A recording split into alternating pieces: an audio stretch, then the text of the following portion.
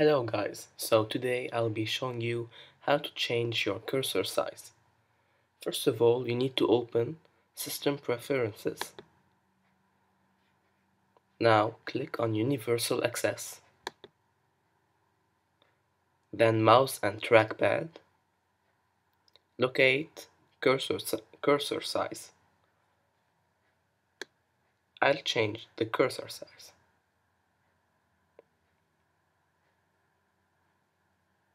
Notice this change. The cursor is now bigger and it really works. To change it again, go to Universal Access and change the cursor size again. I personally like the small cursor size. Okay, so this is the end of the video. Hope you liked it and thanks for watching.